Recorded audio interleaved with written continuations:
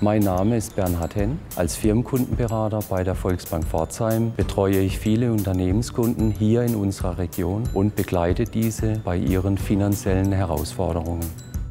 Ich heiße Birgitta Hafner, bin geschäftsführende Gesellschafterin der Firma C. Hafner. Wir sind ein Familienunternehmen seit über 167 Jahren am Markt tätig.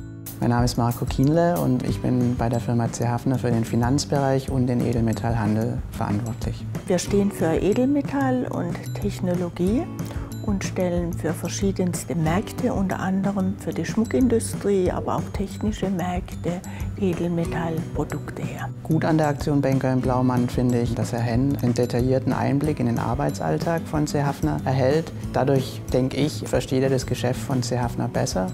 Menschen und Unternehmen kennenzulernen, empfinde ich als Privileg. Zu guter Beratung gehört aktives Zuhören, eine passende Lösung für seinen Kundenbedarf und vor allen Dingen Verbindlichkeit. Eine gute Bank versteht zunächst mal für mich das Geschäft der Kunden und dazu ist diese Aktion Banker in Blaumann natürlich auch hilfreich. Ich habe heute erfahren, dass handwerklich zu arbeiten sehr reizvoll ist.